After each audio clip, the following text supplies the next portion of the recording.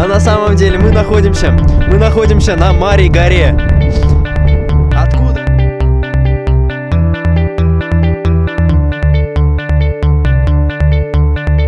Конечно, люблю. Твой любимый вид спорта? Бокс.